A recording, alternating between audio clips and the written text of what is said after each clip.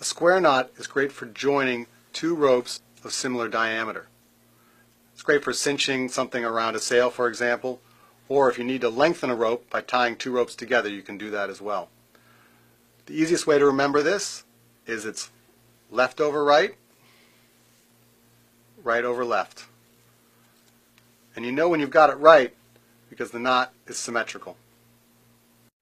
A common mistake people make is when they go left over right, left over right.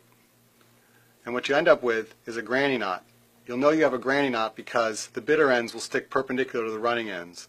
And the problem with the granny knot is that once it becomes snug, it becomes very difficult to untie.